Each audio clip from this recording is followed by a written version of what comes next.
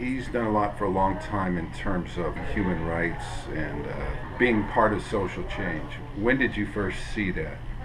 I saw it in my first year in Boston because Bill Russell's a very private man. He has deep thoughts, and he explained to me several things that uh, you know you weren't aware of at the time because you've never been through it. And he's the type of person that has an answer for most questions that people don't have an answer for. I can remember one time in uh, Louisiana, his grandfather came to an exhibition game. And during that particular game we won and we were in the locker room after the game and his grandfather had tears in his eyes and he said grandfather why are you tearing up the way you have? He said i never thought i'd see a black person and a white person in the same shower. And that's something that always stayed with me